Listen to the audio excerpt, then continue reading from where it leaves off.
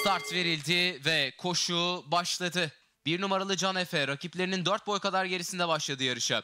İç kulvardan 6 numaralı Hakna dış kulvardan 2 numaralı Dragon Wings öne geldi. Yanlarında 5 numaralı Zorro da var. 2 numaralı Dragon Wings liderliği aldı. Farkı 2,5 boya kadar çıkardı. İç kulvarda 6 numaralı Hakna ikinciliğe tutunmaya çalışıyor. Hemen dışında 5 numaralı Zorro var.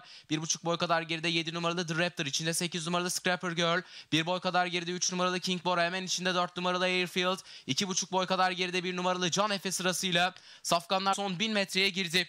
Orta kulvardaki 2 numaralı Dragon Wings bir boy farklı lider. İçeriden 6 numaralı Hakna dış kulvardan 5 numaralı Zorro onu sıkıştırmaya başladı.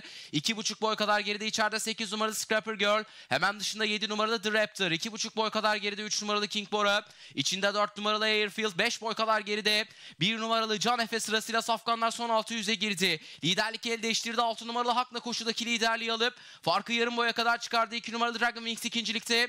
Bir boy kadar geride dışta 5 numaralı Zorro sırasıyla viraj dönüldü. 6 numaralı Hakna virajı 2,5 boy farklı önde döndü. Orta kulvardan 2 numaralı Dragon Wings'in geriden 5 numaralı Zorro'nun en dış kulvardan 7 numaralı Raptor'ın içeriden 4 numaralı Airfield'ın gayretleri var. 6 numaralı Hakna koşudaki lider. 5 numaralı Zorro geliyor. 6 numaralı Hakna önde. 5 numaralı Zorro geliyor. Daha geriden The Raptor'ın hücumu var. Zorro liderliği aldı. 7 numaralı The Raptor geliyor. Zorro önde. The Raptor geliyor. 2 safkan.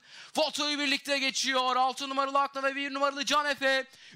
Üçüncülük için aynaya yakın geçen isimler 3 numaralı King Bora da yarıştan 5. olarak ayrıldı. 5 numaralı Zorro mu 7 numaralı The Raptor mı İznik koşusunu kazandı. Karar varış hakemlerinin.